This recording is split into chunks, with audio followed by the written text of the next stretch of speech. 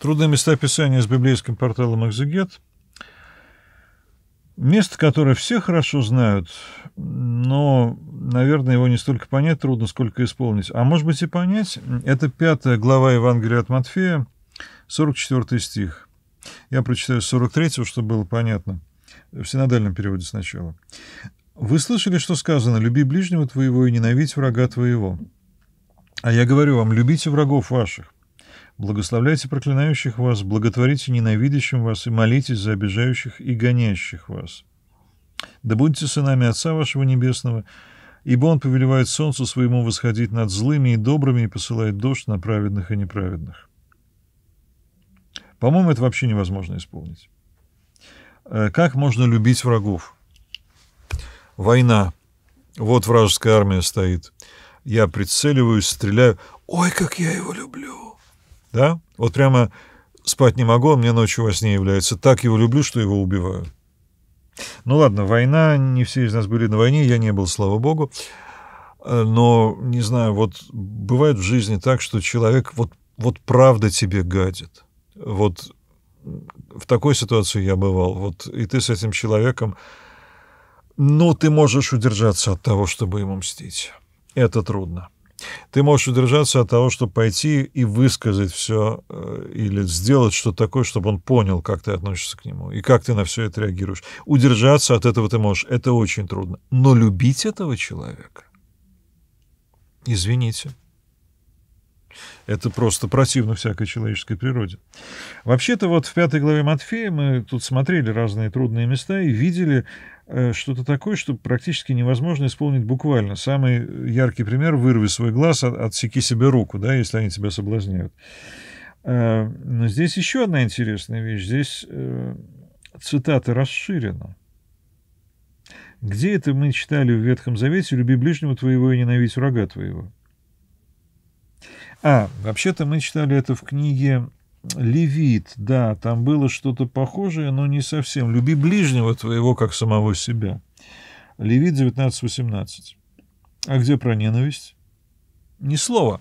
Но э, мы встречаем в Ветхом Завете довольно много о ненависти к конкретным врагам, допустим, к народам э, хананеянам, которые населяли Ханаан до прихода туда израильтян, и там их истребляют прямо полностью. В Псалтире мы сколько читаем о ненависти к врагам, полной э, ненавистью ненавижу, и говорит псалмопевец.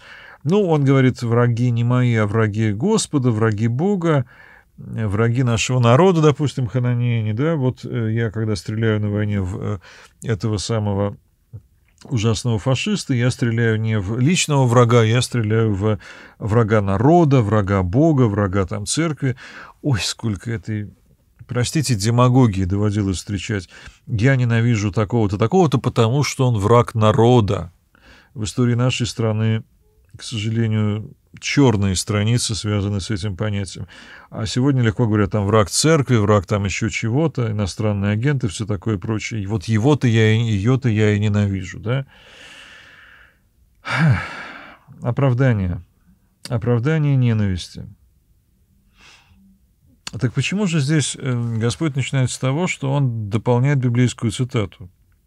«Ненавидь врага твоего». Не было такого в Писании. Вывод сделать можно – но всюду выше он цитирует, вы слышали, что сказано, э, цитирует буквально э, Ветхий Завет и вовсе нигде не пересказывает, не дополняет его какими-то позднейшими ревнистическими толкованиями. То есть получается, э, что слово «сказано» здесь включает в себя определенное толкование, это толкование им категорически отрицается. И раз он говорит «не ненавидьте, а любите». И это пожалуй, единственное место во всей пятой главе, где он говорит э, не так, а так, да, он дополняет, он углубляет, он расширяет, но нигде не отрицает до этого. Всякий, кто гневается на брата, подлежит суду. Но он не говорит, э, а вот кто убил, тот не подлежит. Конечно же, подлежит тоже, да. А вот здесь всякий, кто э, ненавидит врага, тот, тот сильно неправ, скажем так. Э, наверное, стоит задуматься о самом понятии «любить и ненавидеть». В современном русском языке это прежде всего про чувства. испытывай чувства. И э, заповедь совершенно невозможно исполнить, если она требует от человека испытывать или не испытывать чувства, потому что чувства к нам приходят спонтанно. Мы можем поддаваться этим чувствам и вести себя определенным образом, мы можем сдерживать их и не позволять им вырваться наружу, но не испытывать чувств невозможно, если э, простите, рука в огне, в костре, то больно. Вот боль я чувствую. Если что-то со мной делают э, ужасное, я испытываю чувство по отношению к тому, кто это делает, да? Я могу, допустим, благотворить этому человеку, я могу молиться за него. Да, я могу не мстить и все это делать. Благословлять даже могу, не очень искренне, правда, но любить Смотрите, вот здесь, мне кажется, э, Христос говорит о толковании, именно о толковании. «Люби ближнего твоего, а не сказано друга». И вот как это э, еще ветхозаветная заповедь понимается очень часто. Помните, там еще будет вопрос, а кто мой ближний? В ответ на это в Евангелии от Луки Христос рассказывает э, притчу о милостивом самаритянине, да? Который оказался ближним, а все остальные прошли мимо, э, хотя они были как бы ближе, там священник, левит, которые не помогли несчастному человеку, а самаритянин, который вообще чужак из другого народа, еретик с точки зрения самих иудеев, он помог, и он-то и был ближним. Э, он не э, дает какие-то вот, знаете, такие списки, к ближним относится тот, кто, да, а всех остальных можно игнорировать. А он говорит, ближний — тот, кто у тебя на пути. И вот можно э, заповедь о любви к ближнему понять так, что э, люби ближнего, а дальнего ненавидь. Некоторым людям удается еще и наоборот очень любить дальних, но абсолютно ненавидеть ближних. Ну, потому что ближние, они, правда, они гораздо противнее. Вот за ним мы все замечаем, а дальние, они там издалека прекрасны. Вот. Э, но главное, что если дана заповедь любить, человек хочется сразу строить, а всех остальных ненавидеть. И, пожалуйста, списочек, кого именно я должен любить. Всех остальных буду ненавидеть, презирать, ну или, по крайней мере, имею право это делать. А Христос говорит, э, люби ближнего, люби и врага. Враг — это то, что наиболее противостоит понятию ближний, вот в таком бытовом понимании. Но на самом деле не противостоит, потому что ближний очень часто враг. И враги человеку ближние его, говорит Христос. В другом месте, но говорит, да? Э, и э, тогда получается, что человеку свойственно определять круг ближних, кого он обязан любить, исходя из отношений этих людей, из действий этих людей по отношению к нему. Ага, он мне вредит, он мне гадит, значит, он враг, ну или не мне враг, а враг там народа, церкви, чего-нибудь еще, государства, поэтому надо с ним расправиться. А Христос говорит, смотрите, но ведь и ваши ближние могут быть вашими врагами.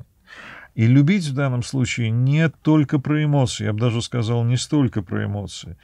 Да будьте сынами Отца вашего Небесного, ибо Он повелевает солнцу восходить над злыми и добрыми и посылает дождь на праведных и неправедных. Это не про эмоции, это про действие. То есть э, любовь и ненависть — это конкретные вещи, которые человек делает по отношению к другому человеку.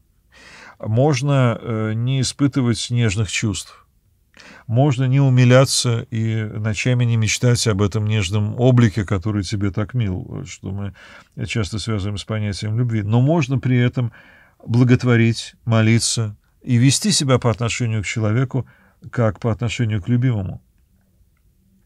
Трудно, да, невозможно, я и на это скажу да, потому что, в общем-то, почти все, что в пятой главе Евангелия от Матфея э, человеку предлагается, почти все это невозможно. Но надо стремиться. И, может быть, э, по дороге к этому идеалу э, мы двигаемся в ту сторону, которая обозначена в самом начале этой Нагорной проповеди. Блаженно нищие духом, ибо их есть Царство Небесное. Внеси свой вклад, оцени, подпишись и поделись этим видео.